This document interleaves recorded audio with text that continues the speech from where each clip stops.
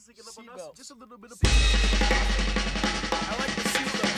Gotta put the seatbelts back. I hope you got this.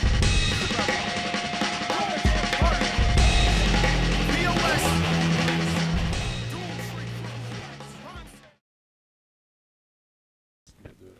Um, my name is Crystal Quinn.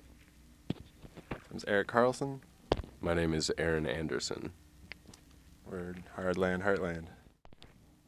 So we started working together by by just drawing together. We started with a book, and it kind of became, or we realized at a certain point that we weren't just interested in like making this book. So we started taking ideas that we made there and doing it in real life with other people and doing performances and using music Sometimes it doesn't work, and sometimes it's like really amazing, and sometimes it's like really horrible, but that's really amazing too. You know, Well, it just kind of like, you let it be that way. yeah, way. and then it just becomes and like you know, like you have to be open to like the accidents that happen, and when they happen, like you just I don't know, you kind of have to roll with it constantly.